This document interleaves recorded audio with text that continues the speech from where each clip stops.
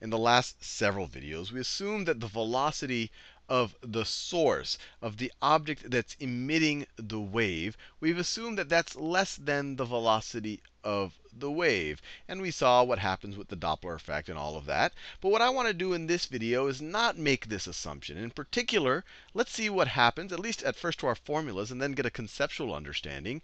Let's see what happens when the velocity of the source is equal to the velocity of the wave.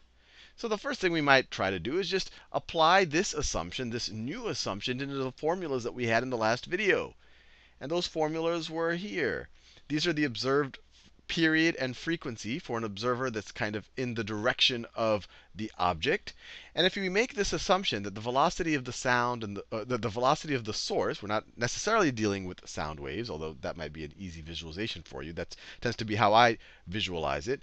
But it, if what happens to these formulas when the velocity of the source is equal to the velocity of the wave? Well, if these two quantities are equal up here, you have something, subtract the same thing from it. This numerator right here becomes 0. So it'll turn this whole thing into being 0. So the period, or the observed period, will be 0, which means you don't have to wait any time at all between successive crests, that the, that the, that the entire waveform just gets infinitely bunched together. So it's just, you know, just it's just kind of like one impulse. And if we look at the frequency, we can either look directly at the formula, and you'll see, well, you have something divided by 0 right here. So you could say this is 1 over 0. Or you could just say that the frequency is 1 over the period. And you get this thing that's undefined. Undefined.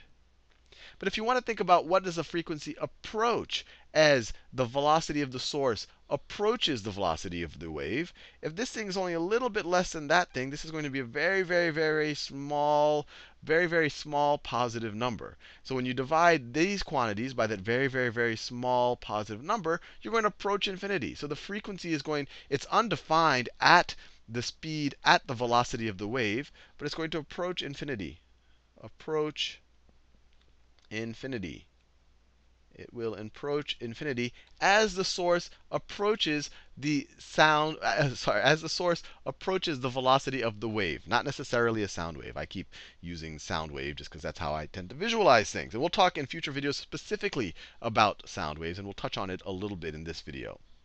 So what is this telling us? Does this make any sense? And if you think about it, at least to me, you know, it, it starts to make it starts to make sense just what you saw in the last couple of videos. In the last couple of videos, when something was moving slower than the speed of sound, you had, okay, I am here now, and then maybe, and I'm about to to release the next crest. If I go one period ago, maybe I was right there, and the crest that I had released at that time period maybe has traveled this far, just like that. If you go a period before that, I would have been over there.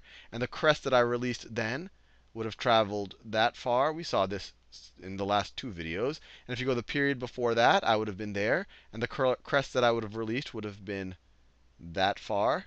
And this was the whole reason why the Doppler effect happens. Because the observer sitting right here, let me do this in a separate color the observer sitting right here is going to experience these crests more frequently than an observer sitting out here because the wavelength gets compressed. Because every time this guy releases a new crest or a new cycle, he is moved forward. He is moved forward in the direction of this motion right here. So let's think about what happens when he is exactly moving at the speed of the wave. So let's say that the source is here now. This is right where he is, and he's right about to release a new crest. So where was he at one period ago? So let's say he was here one period ago. And where is the crest that so one period ago he if he was if he's right going to release a, a crest or a cycle right now, one period ago he he released another cycle. And where has that cycle gone? Well, we're assuming that the wave is traveling at the same velocity as this guy, but it's going radially outward. So whatever he, he released then, it will have traveled at the same velocity as himself. So it will, got, it will have gotten this far. Right? He released it one period ago, and that's where he was one period ago. Over the course of the next period, he traveled there, and so did the wave. The wave also traveled there. Now, where was this character two periods ago? Two period. And when I talk about the period, I, am talking about the actual period of the wave. Every period, uh, or, or uh, kind of how long does it take between similar points in the cycle. And I like to think of them as the crests in the cycle. So two periods ago, he was here. And he released a, you can imagine a pulse or a crest. And where will that be now? Well, that will have traveled as far as he did. He traveled that far, and so will the pulse that he released. It will have traveled Actually, I have to make it a little bit more symmetric. It will have traveled that far. So it will have traveled that far. It will have traveled that far. Then if you go three periods ago, and I think you get the idea. If you go three periods ago, he was here, and he released uh, he released a pulse then, or a crest, or, uh, or or or a cycle of the wave. And where will that be now? Well, it will have traveled as fast as he's gotten. So it will have gotten this far. So it will have gotten that far. Of course, it's traveling th that velocity in every direction, radially outward. Now, think about the situation for the observer. Think in particular, think about the observer who's sitting right here. Let's say he's just out of the way so that this thing doesn't run into him and kill him and what, whatever else. But he's just out of the way, just enough to experience the sound, but not be directly collide with this object that's emitting the, well, I shouldn't say sound, uh, emitting the wave. I want to be general right here. We're not assuming that this is a sound wave. What's he going to experience?